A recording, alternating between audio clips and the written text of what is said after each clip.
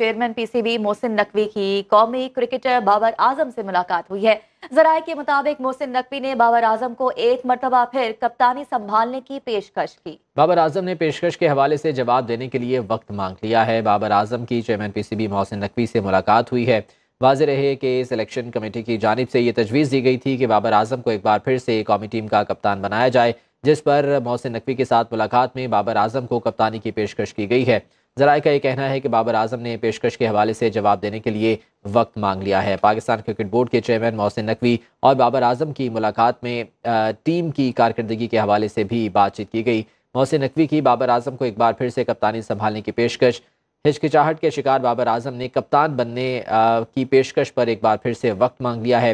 मुलाकात के बाद चेयरमैन पीसीबी मोहसिन नकवी पेशावर चले गए। चैंपियंस ट्रॉफी की तैयारियों के हवाले से पेशावर स्टेडियम का दौरा करेंगे। पेशावर स्टेडियम के मुकम्मल कंट्रोल के लिए मुतल हुकूमती शख्सियात से मुलाकातें भी शेड्यूल है।